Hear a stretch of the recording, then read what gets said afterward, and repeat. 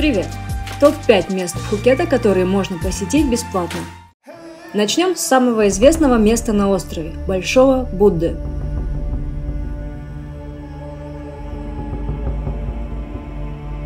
Мало того, что он расположился на самой вершине холма, так он еще и достигает высоту 45 метров.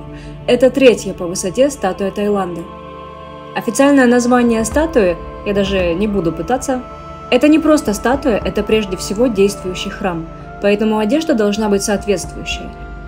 Наверху проводятся небольшие медитации на 7 минут. Поучаствовать может любой желающий. Здесь очень сильная энергетика – Люди стекаются со всего мира, молятся, загадывают желания, жгут благовония и одаривают богов. Статую Большого Будды можно увидеть почти из любой точки южной части Пхукета. Она напоминает, что Будда достиг нирваны. Вход бесплатный, пожертвования приветствуются. На пути к Будде вы увидите много красивых мест. Остерегайтесь хитрых обезьянок. Еще вам встретится слоновья ферма. Лично я не одобряю такие места. Как правило, там жестоко обращаются со слонами, но при желании вы можете остановиться и угостить их бананами. Следующее место в нашем списке – это Майкхау или пляж с самолетами. Здесь весь день можно наблюдать, как взлетают и садятся эти гиганты, причем очень близко.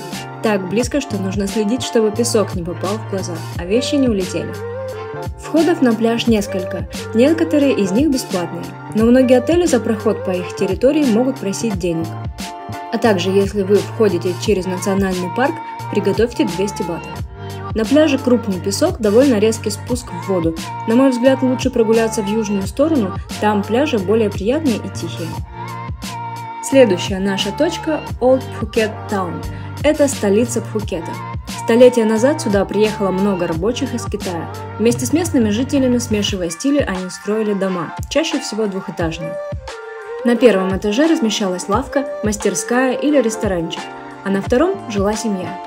И по сей день здесь ничего не изменилось. Такие дома называются шоп-хаусами. Застройка очень плотная, потому что раньше налог на недвижимость взимался с ширины фасада, ведь он являлся витриной, поэтому шоп-хаусы имеют узкий фасад, а их длина уходит глубоко внутрь, вплоть до другой улицы. В таких узких длинных домах нет окон в комнатах. Часто дома выкрашены в яркие цвета, а на стенах красуется веселый стрит-арт. Тайцы очень любят своего старого короля. В городе много его портретов.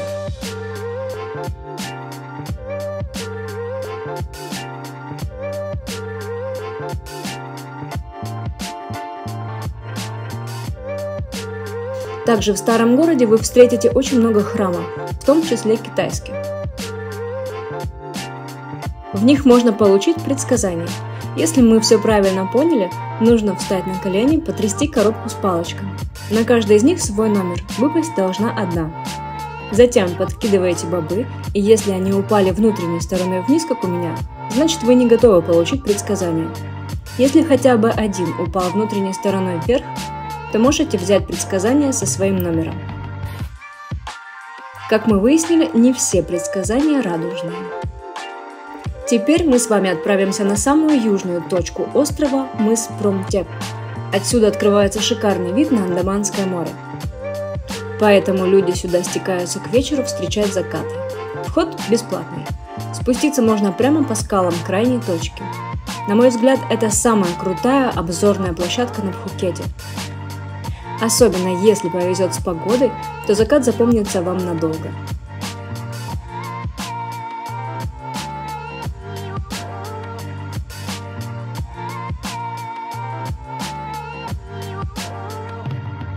И последнее место в нашем топе – небезызвестная Бангла Роуд.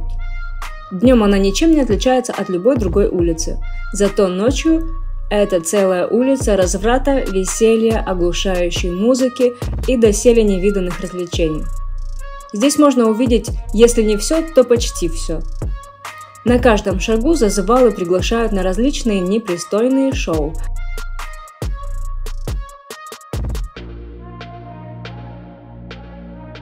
Можно сфотографироваться с красотками леди-боями. Не бесплатно, конечно первые же пять минут вам предложат купить все от оружия до легализованной в Таиланде марихуаны.